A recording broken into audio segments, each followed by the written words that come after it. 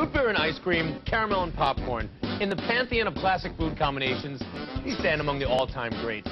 But no one has thought to put them together until now.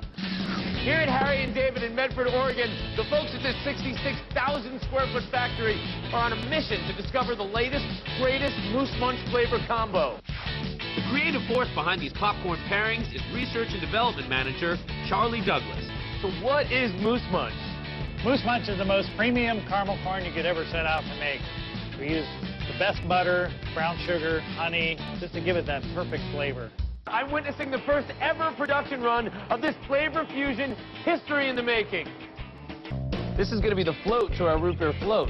Kind of like vanilla ice cream. This is just melted white chocolate, and then we add the flavoring to it. It is a root beer flavored extract. Now this is actually going to make that white chocolate taste of root beer. Right. That extra kick of wow. All right, Adam, here it is.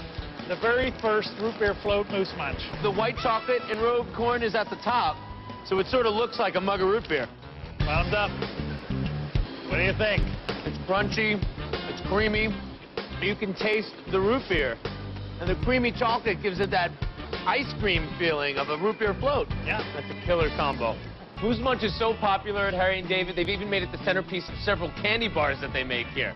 So what kind of candy bar are we making? S'mores Moose Munch bar. S'mores Yep. plus Moose Munch. Yes. That sounds like too many good things in a small package. You want to try one? Yeah. All right. Check out all, you can see the marshmallow, the graham cracker. Chocolate and graham cracker are so good together. Never had caramel corn in a chocolate bar before, but I think it's official. I'm a moose muncher. I'm proud of it.